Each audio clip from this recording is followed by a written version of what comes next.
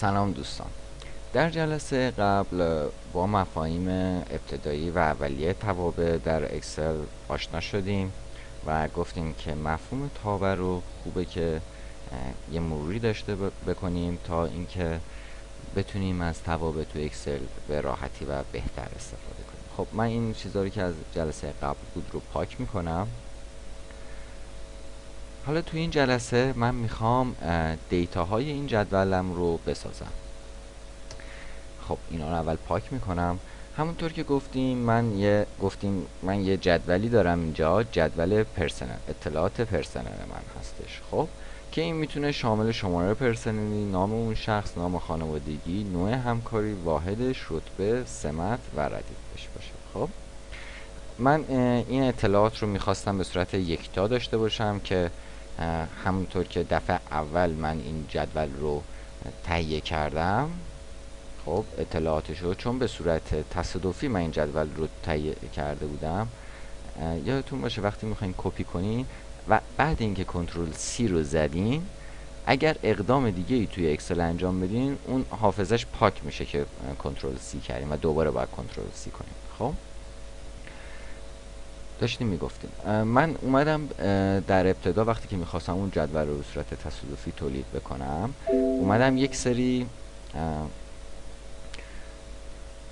یک سری اطلاعات رو به صورت همینطوری ستونی و غیر تکراری یک جا وارد کردم. مثلا اومدم گفتم شماره پرسنلی حالا اینکه جدا در آوردم نام یه سری نام مثلا نام فارسی رفتم توی سایت ها اصلا گیر آورده بودم. رفتم سرچ کردم نام های فارسی بعد یه سری نام رو اینجا اومدم جدا کردم یه سری نام خانوادگی همینطوری از ذهن خودم دادم. بعد اومدم نوع همکاری ها رو بر اساس اون چیزی که فکر می کردم شاید وجود داشته باشه نوشتم. و همینطور واسه واحد سه تا واحد رو جدا کردم. زیاد نخواستم مثلا بیشترش بکنم. شما اگه خواستی می‌تونید واحدهای بیشتری رو در نظر بگیرین. اینم میام اینجا copy paste کنم. سه تا واحد رو نوشتم و با ریموو داپلیکیت که قبلا آشنا شده بودیم دیگه من دوباره نمیگم و دارم همینطور سریع انجام میدم. و خب پنج رتبه رو تعریف کرده بودم و یه سری سمت خب که کارشناس و کارشناس ارشد و سرپرست و فکر کنم مدیر بودش. که حالا من بسه این که زیاد متفاوت نباشه با همون چیزی که دارم. اینجا ریموو نکرد. expand نکن. خب. درست شد. خب. و اینکه پنج رتبه داشتم دیگه. اینا رو اول اومدم به صورت unique اینجا نوشتم. خب. چون نمی‌تونستم از همون اول بیام data مثلا من 50 تا پرسنل دارم. نمی‌تونم همینطوری بیام خب این فلانی اصلا پارسا میرزایی هستش فلانی افشین جلیلی هستش طول می‌کشه و اذیتم می‌کنه دیگه. به خصوص تو این table بعدی که هزار و خورده ای 1400 تا تقریبا من data تولید کردم. و اینا رو من دستی که نزدم اومدم یه سری فرمول نوشتم. از اون فرمول ها استفاده کردم که به صورت تصادفی یه سری عدد رو اینجا قرار بدم خب بیایم اینجا ما هم شروع کنیم. از فرمول های اکسل استفاده کنیم و این data های خودمون رو تولید بکنیم. اولی واسه شماره پرسنلی هستش. من فرض کردم که شماره پرسنلی یک عدد 6 رقمی می‌تونه باشه. خب برای این کار من میام میگم که چی؟ این سلول من با مساوی یه عدد تصادفی رندومه بین بیتوینه خب از صد هزار یک دو سه تا 99 میلیون و 999 هزار باید باشه. 999 هزار و 99 تا. خب؟ که اینطوری یک دو سه چهار پنج این هم یه نه دیگه. که اینطوری مطمئن بشم یه عدد 6 رقمی داره به من میده. خب وقتی که اینو اینتر کنم این عدد تصادفی رو واسه من اینجا تولید می‌کنه و چون جدول هستش خودش به صورت خودکار می‌زنه که تا آخر بره. و خب میام اینجا و از فرمت این کاما استفاده می‌کنم که بین هر ستا یه کاما رو بذاره و خب اعشارش هم کم می‌کنم چون به صورت پیشفرض میگه دو تا اعشار باش و اینو دوباره می‌زنم تا پایین بره.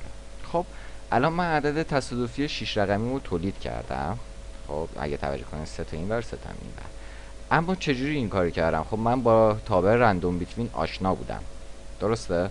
اما شما که آشنا نیستین فرض می‌کنیم البته آشنا نیستین شاید خیلی آشنا باشن.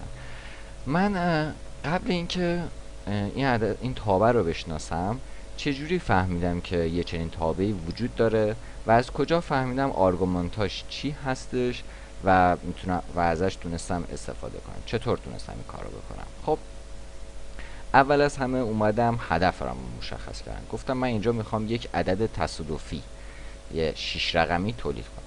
که این عدد تصادفی برای اینکه تولید بشه باید یک عدد تصادفی بین یه صد هزار باشه یک دو سه. خب کوچکترین عدد شیش رقمی که می‌تونه تولید بشه.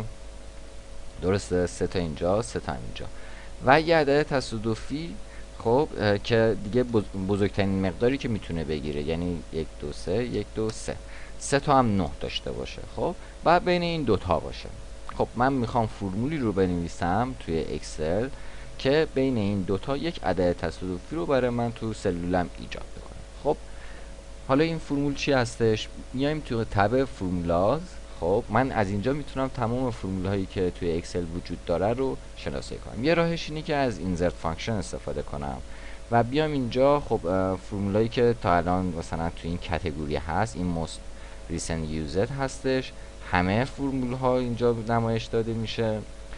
financial باشه یا date and time باشه. اینجا هم در مورد اون تابع نوشته. خب یه راهش اینه که بیام اینجا و بیام توی قسمت اول از همه به نظرم متن می‌تونه باشه دیگه ریاضی باشه. خب بیام چه فرمولای ریاضی داره. بیام search کنم. دونه دونه اینا رو بگردم ببینم. خب اینا که نیستن. چون آرک سینوس هیپربولیک که نمی‌خوام آرک تانژانت تانژانت نمی‌خوام و همینطوری برم پایین. درسته؟ یه راهش اینطوری هست. یه راهش هم اینه که می‌تونم سرچ کنم واسهش بنویسم من عدد رندوم می‌خوام. خب و اینو گو کنم و میاد خودش رندوم ها رو واسه من جدا می‌کنه. میگه خب ناکن من یه دونه تابع دارم به نام رند. که رند پرانتز باز و بسته هست که میگه یک عدد تصادفی بزرگتر یا مساوی صفر و کمتر از یک رو واسه من ایجاد می‌کنه و به صورت یک نواخ evenly distributed توضیح شده. خب؟ یا و بعدی تابع بعدی هستش که returns a random number between the numbers you specify.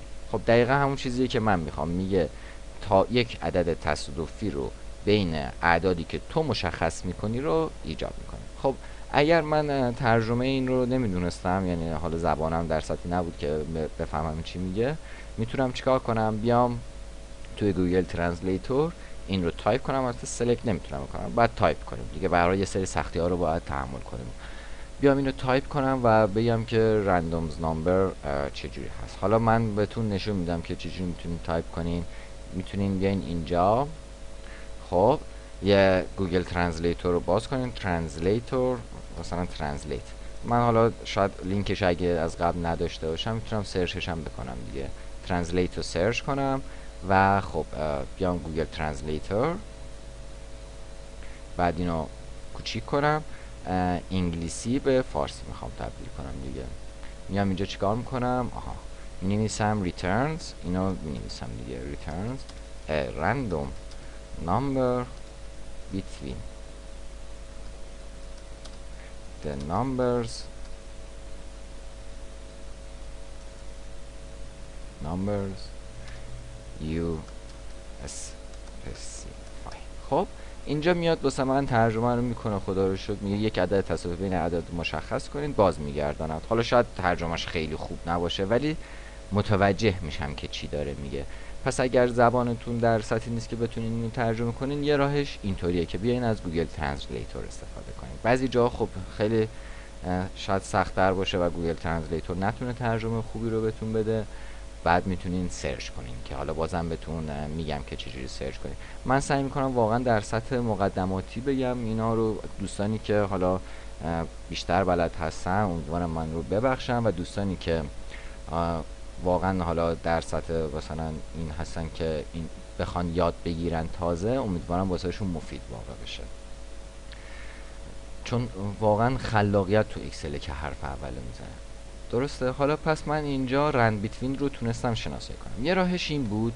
یه راه دیگهش هم اینه که به که بیام insert function بیام از category هایی که اینجا مشخص شده استفاده کنم. نگا کنین فرمول ها رو اینجا اکسل واسه من category بندی کرده. گفته اونایی که به تازگی استفاده کردی financial مالی logical منطقی فرمول های منطقی هستن که حالا بیایم من وقتی که از فرمول های استفاده بکنم هر کدوم از این category ها رو احتمال قوی می‌بینیم که چجوری هست. خب عدد تصادفی همونطوری که می‌دونین خیلی تو آمار استفاده میشه. و من وقتی که more function رو بزنم می‌تونم یه سری category دیگه اینجا ببینم که statistical یکی از اونها هستش. میام اینجا می‌دونم که این یه عدد یه تابعی هست که تو آمار استفاده میشه. به خاطر همین میام اینجا و اینجا میگردم دنبال تابعی که می‌خوام. یه راهش هم پس اینطوری هستش. که من می‌دونم رند بیتمینه این چون بر اساس حروف الف با هستش حالا شاید حروفش هم ندونم ولی خب اوریجا رو می‌بینم بتا اینا نیستش. اینا رو هر کدوم دونه دونه می‌بینم اینا هیچ کدوم نیست که می‌خوام. میام همینطور پایین.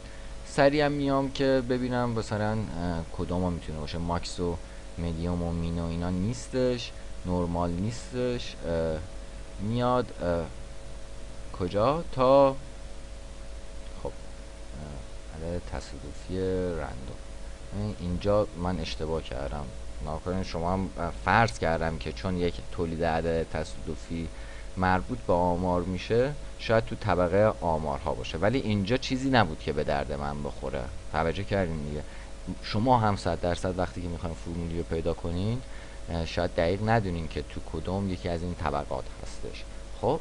به خاطر همین وقتی که میایم میگردیم و اینجا روشون نگه میداریم خلاصش رو می‌خونیم نه این rank می‌کنه و به درد من نمی‌خوره خب؟ میایین طبقات دیگر رو می‌بینیم خب پس تو statistical نبودش تو آماری نبود. توی engineering چی؟ مثلا میام سری میگردم ببینم تو engineering هست نه تو engineering هم نیستش. خب احتمال داره توی ریاضیات باشه. میام توی Math and Trig رو می‌بینم. خب تو اینجا میام پایین سری ببینم اینجا چیزی وجود داره واسه random کردن بله. میام می‌بینم که یه دونه RAND وجود داره که نوشته یک عدد تصادفی بزرگتر یا مساوی صفر و کمتر از یک رو واسه من برمیگردونه که من اینو نمی‌خوام رند بیتوین رو نگاه می‌کنم که اینو ریترن از رندوم نمبر بیتوین the numbers you specified. خب پس این تابعی هست که می‌خوام و تونستم اینطوری پیدا کنم. شما هم اگه تابعی رو می‌خواین وقتی که منطقش رو فهمیدین می‌تونیم بیاین اینجا پیدا کنین که آیا این منطق واسش تابعی نوشته شده یا نه. خب؟ پس من اومدم گفتم من یه تصادفی بین این دوتا رو می‌خوام. حالا چه تابعی وجود داره که عدد تصادفی تولید کنه؟ یه تابع هستش که حالا و رفتم statistical دیدم نبود. اومدم اینجا تو ریاضیات دیدم که دیدم هست. پس از random between استفاده کنم می‌ذارم که random between رو قرار. خب وقتی که اینو اینجا کلیک می‌کنم همونطور که اول دیدیم من از fx هم می‌تونستم اول تابع رو تایپ کنم و fx رو بزنم خب من که تابع رو اینجا نمیشناختم فرض کردم بخاطر اینجا کلیک کردم. وقتی کلیک می‌کنین یه box ی واستون باز میشه که میگه argument های function یا ورودی هاشو به من بده. ما قبلا این box رو دیدیم و توضیح دادیم. و حالا اینجا میایم می‌بینیم که دو تا argument داره. bottom که is the smallest integer یه عدد تصادفی کوچکترین عدد تصادفی هستش که random between می‌خواد به شما برگردونه و top بزرگترین عدد تصادفی صحیح بزرگترین عدد صحیحی هستش که random between قراره بهتون برگردونه. که من اینجا می‌تونم عدد وارد کنم 100 هزار و 99 999 هزار رو وارد کنم خب می‌تونم این دوتا رو عدد وارد کنم و واسه من اوکی کنم که واسه هم نشون بده. یا اینکه خب اگه fx رو اینجا دوباره بزنم همونطوری که از تعریف تابع مشخصه بیام اینجا دو تا سلول رو مشخص بکنم. خب اینجا هم حالا چون جدولی نمی‌خوام باشه A دو رو می‌زنم. و اینجا میاد به من داره میگه که اینجا یه ذره غلط تایپی بود. A دو و A سه عدداش چیا هستن و چه عدد تصادفی رو می‌تونه به من مشخص کنه. خب. حالا چرا اینجا؟ وقتی که من این دوتا رو مشخص کردم اولیه رو واسه من زد ولی دومیه رو error number بهم داد و بقیه رو صفر زد. خب یادتون هستش من در جلسه اول یا دوم بودش. خب اومدم وقتی که نیم خواستم تعریف کنم یا یه محدوده رو تعریف کنم دلار می‌زد جاهای مختلف. خب دلار یه مفهوم خیلی جالبی هستش که توی اکسل قرار داده شده و به معنی مطلق و نسبی بودنه. خب من تعریف می‌کنم که مطلق باشه یا نسبی بودن. حالا یعنی چی؟ خب وقتی که من اینجا آدو و آسه رو واسه این سلولم تعریف کردم و اوکی کردم و به خاطر اینکه تا این فرمول نوشته شده توی جدول بود و جدول به صورت پیشورز بدونی که من این کار انجام بدم اینو اومده کشیده و تا آخر جدول من برده به جز سطر توتال من و این سطر توتال منه. اگه بیام تو دیزاین توتال من بردارم. خب بیام بکشم. این کار رو جدول واسه من انجام داده دیگه که شما هم آشنا هستید می‌تونید اینو double click هم بکنین روش که خودش تا انتهای جدول بره. وقتی که اومد این کار رو می‌کنه جدول ببخشید اکسل این کار رو واسه من انجام میده یا خودم این کار رو انجام میدم؟ توی اولی که تعریف کردم A دو و A سه باشه. و OK و انجام میده. وقتی که دومی میام تغییر میده اونو به A سه و A چهار چرا این تغییر رو اعمال میده؟ میگه کاربر من اومده یه فرمولی اینجا قرار داده و وقتی که اومده یه سلول اینو کشیده پایین یه سلول اومده پایین تر به احتمال قوی این کاربر خواسته که این بازش هم تغییر بکنه و بیاد هر کدوم یکی یه دونه پایین تر و اگه دوباره دو تا اومده باشم پایین تر اگه اینو دابل کلیک کنم این هم دو تا سلول رو ورده پایین تر پس به همون نسبتی که من اینو کشیدم و اووردم پایین تر رنج من هم که تو آرگومانت ها تعریف کردم سلولایی که تو آرگومانت ها تعریف کردم تغییر کرده. خب؟ و یه دونه اومده پایین تر حالا اگه من اینو یه دونه راست بکشم چی؟ این هم دوباره میاد. این آرگومانت ها رو یکی یه دونه شیفت میده به سمت راست و به جای اینکه آ باشه ب می‌کنه. خب این خیلی جاها استفاده میشه. خب حالا من نمی‌دونم که اینجا نمونهش رو خواهید دید یا نخواهید دید. حالا سعی می‌کنم اگه مثلا شد شرایطش ایجاد شد تو کل پروژه بتون نمونهایی که مثلا از ابسولوت ها و این یعنی این شرایطی که اکسل واسه من تعریف کرده استفاده کنم رو بتون به صورت عملی تر نشون بدم. ولی خب اینجا تعریفش رو پس فهمیدیم. اگه من یه تابعی رو بر اساس یه سری ورودی ها توی یه سلول بنویسم و وقتی که اون رو یه دونه می‌کشم پایین و میگم تابع رو بینداز توی این یکی سلول هم ورودی های اون هم بر اساس تعریف ساده ای که از سلول کردن گفتم آسه و آدو و آسه بودش اونها هم یکی یه دونه میان پایین تر و اگه من یه دونه بکشم این ورتر به سمت چپ اکسل هم به صورت خودکار اینها رو می‌کشه به سمت چپ. و اگه من یه دونه بزنم به سمت راست اکسل هم به صورت خودکار می‌زنه به سمت راست. حالا اینجا error reference میده به من. خب؟ اکسل هم به صورت خودکار اینو اگه حالا یه دونه دیگه بزنم به چپ خب و حالا اینو بدم به راست. اکسل هم اینی که C دو و C سه هست رو می‌کنه به دو می‌کنه اینجا به دو و به سه. خب پس بر اساس تغییراتی یعنی جاهایی که می‌برم این فرمولم رو تغییرات رو می‌کنم. حتی اگر کپی کنم کنترل سی کنم و بیام اینجا کنترل وی معمولی بکنم اینجا هم نها کنیم تغییر رو اعمال کرد و برد به ای 6 و ای 7 چجوری این تغییر رو اعمال کرد؟ اومد گفت این یک دونه را چپتر است از فرمولی که نوشتم. اینا یک دونه چپتر است از فرمولی که نوشتم. و اینجا هم پس باید یک دونه چپتر باشه از فرمولی که تو اینجا قرار می‌گیره. خب حالا من خیلی جاها نمی‌خوام این کار رو انجام بشه. میام قبل و بعد اون سلولم علامت دلار می‌ذارم.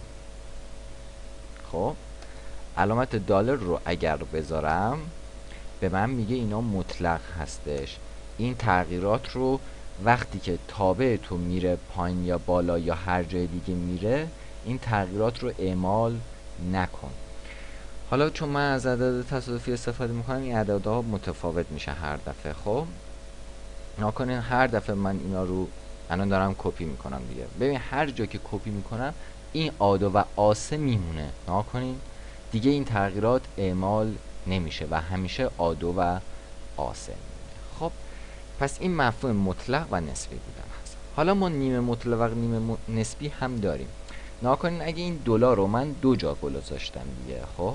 اینجا قبل آ گذاشتم و قبل آ دو. اگه من این دلار رو از قبل آ بردارم حالا واسه این فعلا تغییر و اینتر بکنم وقتی که فرمول یه دونه میاد پایین تر بر اساس سطر که یه دونه اومده پایین تر چون دلار وجود داره و مطلق هست تغییر اعمال نمی‌کنه. ولی اگه من یه دونه بکشم این ورتر. و دلاری که چون قبل آ بوده ورداشته شده و گفته این ستون ها مطلق دیگه نباشن نسبی باشن فقط این نسبی باشه اومده آ رو به ب تبدیل کرده. و اگه من بیام اینو بکشم تا انتها شما می‌تونین ببینین که اینجا اول آ بوده. وقتی که من اینو یه دونه کشیدم اینجا توی سی فرمول رو نوشتم این آ من تبدیل شده به بی و وقتی که اینجا توی دی گذاشتم بی من تبدیل شده به سی و همینطور یکی یکی برده و تغییرات رو اعمال کرده. پس اینجا من می‌تونم چجوری تعریف کنم؟ اگر فرمولم خواستم اینوری بکشم چون حالا اینوری دارم می‌کشم و نمی‌خوام که آی من تغییر بکنه خب؟ اگه من این دلار رو اینجا تعریف نکنم و اینجا تعریف بکنم چون دارم در جهت چپ و راست می‌کشم و ستون رو تغییر میدم آدو که همیشه میمونه چون فقط چپ و راست کشیدم خب؟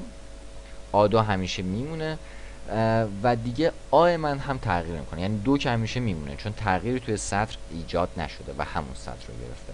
و آ هم دیگه ثابت میمونه و تغییر نمی‌کنه به خاطر دلاری که گذاشتم. و اگر من تحت شرایطی باشم که این دلار رو ور میدارم واسه این فقط واسه این می‌ذارم. می‌خوام تغییر رو ببینیم تحت شرایطی باشم که بخوام اینو کپی کنم.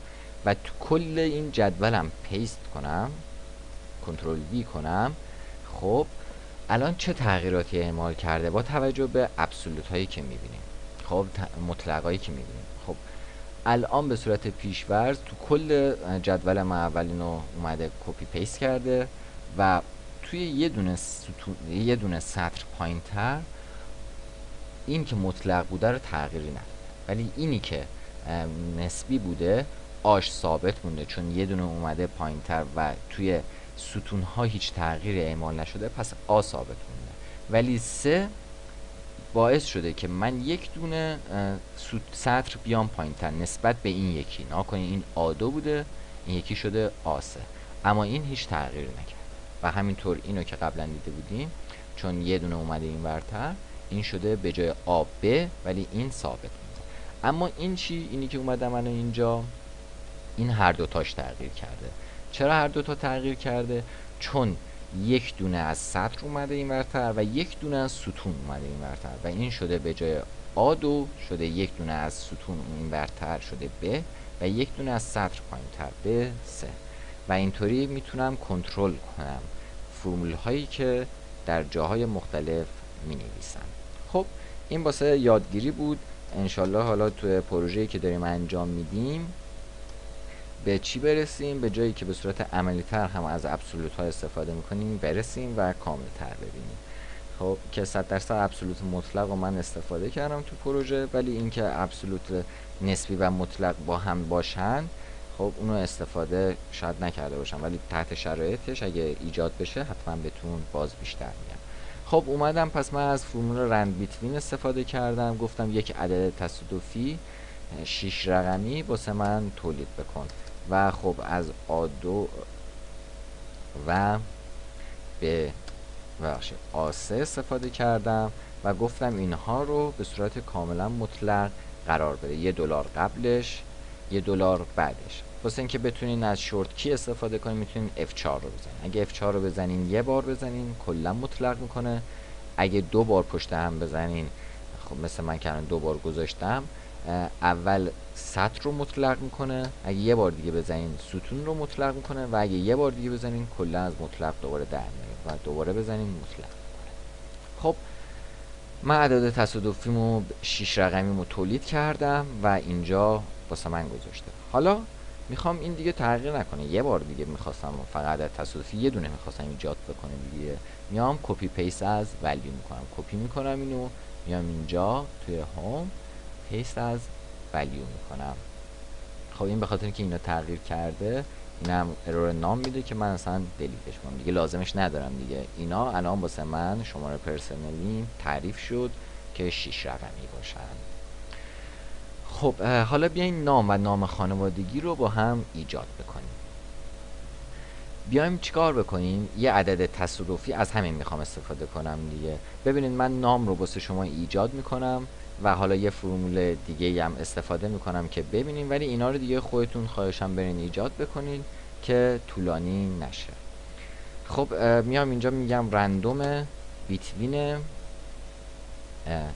ناکنین من اولم گفته بودم. می‌خوام بین چه عددی باشه؟ من 24 تا فامیلی تعریف کردم و 25 تا اسم تعریف کردم.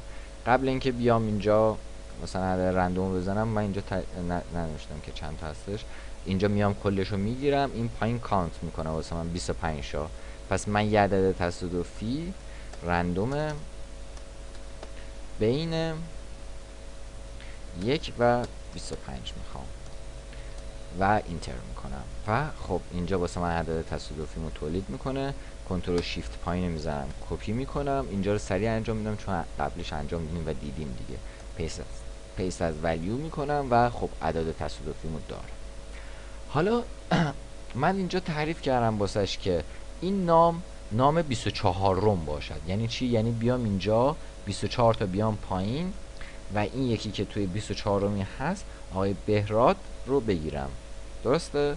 خب حالا می‌خوام بگم که نام من بهراد رو بذاری اینجا دیگه نام 24 که واسه من تعریفی نداره.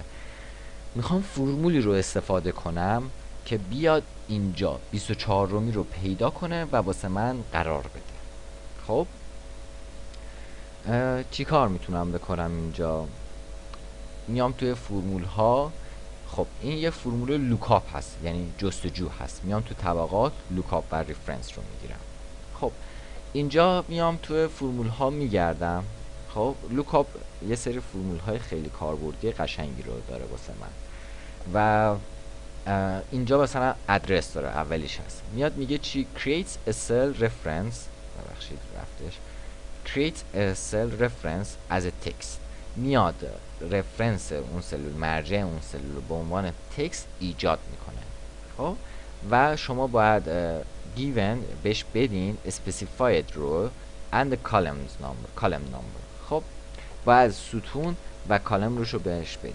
خب به من میگه که من یه دونه رفرنس رو می‌گیرم و به صورت تکست برمیگردم. یعنی چی رفرنس رو به صورت تکست برمیگردم؟ من اگه اینجا مساوی این بزنم L2 اینجا به من صفر میده چون مقدار اون صفره. ولی من اگه بخوام مثلا این L2 رو به صورت تکست نشون بده به من از ادرس استفاده می‌کنم. یعنی خب حالا شما پس نمی‌تونین از ادرس استفاده کنید آریا چوز کالمز. خب اینا رو هر کدوم خودتون می‌تونین بریم بخونیم و ببینیم که چه استفاده ای داره. من می‌تونم از یه دونه به نام lookup یا VLOOKUP استفاده کنم. lookup چی هستش؟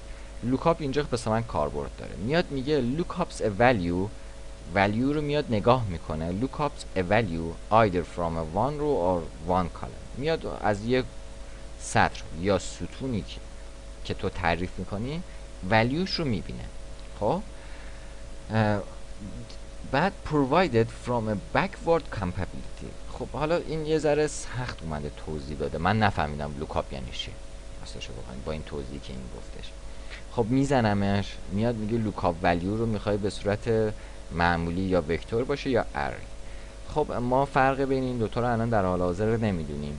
بهترم که شما فعلا با آرایه ها کار نکنید یه سری فرمولا هستن که به صورت آرایه نوشته میشن و کار با اونا الان در حال حاضر واسه کسی که در سطح یادگیری توابع هست یه مقدار سخته. و همیشه این اولیه رو بزنین و از اونا فعلا استفاده مگر اینکه بخوایم بیشتر یاد بگیرین برین توی اینترنت search کنین و جستجو کنین و از اون آرایه ها هم بتونین استفاده کنین. ولی ما فعلا با توابع معمولی کار می‌کنیم. خب من اول میام این lookup انتخاب می‌کنم. می‌خوام یه راهش اینه که من سعی خطا کنم. خب من نفهمیدم چه توضیحی داد دیگه. از این توضیح نفهمیدم میام سعی خطا می‌کنم. میگه lookup value چیه؟ میام این مقدار رو lookup کن. lookup vector چیه؟ اون vector برداری که می‌خوام lookup کنی چیه؟ این هستش.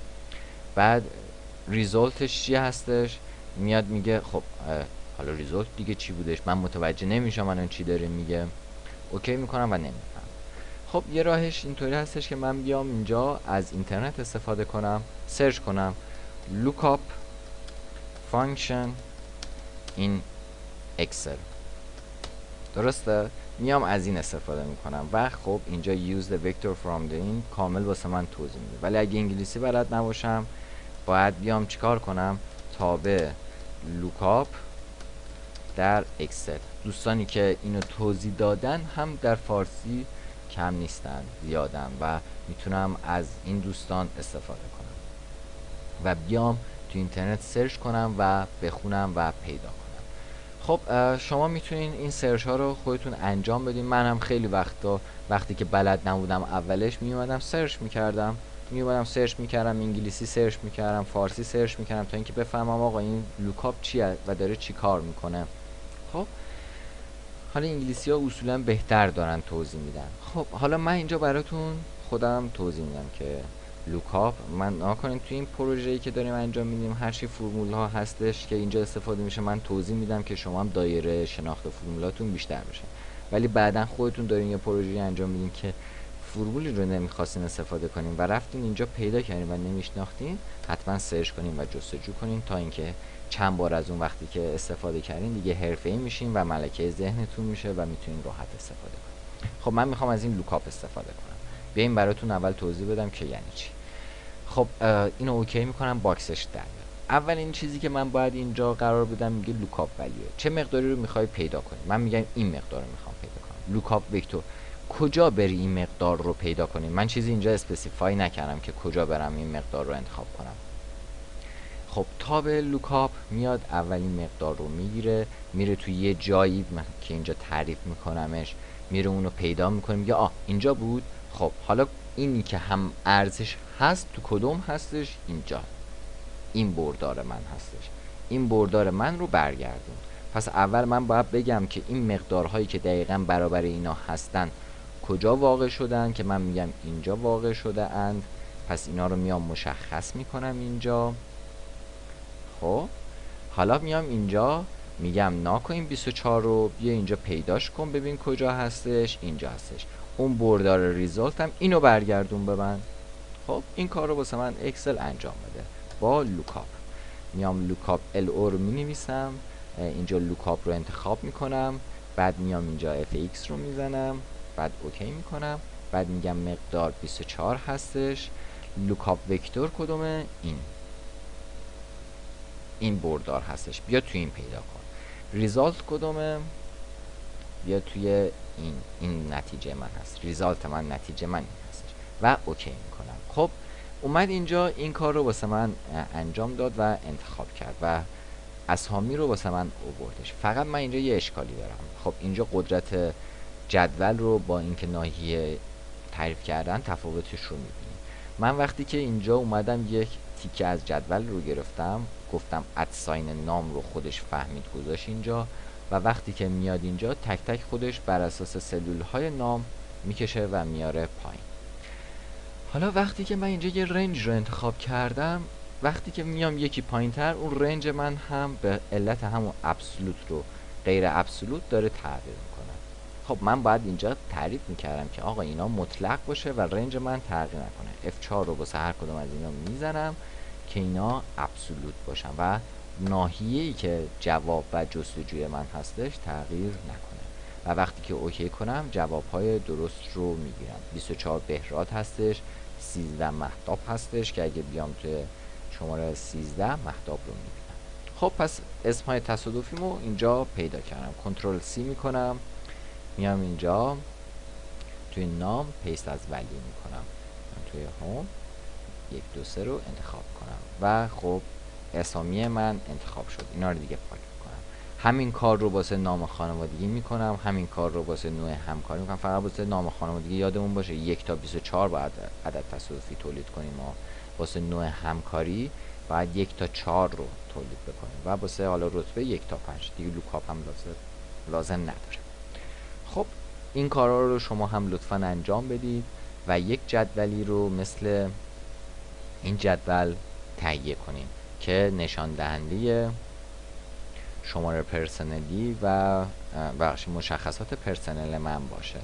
پس با سه جلسه بعد این تمرین رو بکنین و این ها رو ایجاد بکنین خودتون. ممنونم از توجهتون. همچنین اگر خواستین این فایل اکسل رو تهیه کنین می‌تونین به وبسایت ما مراجعه کنین www.diaco.com و این اکسل رو تهیه کنین. متشکرم و خدا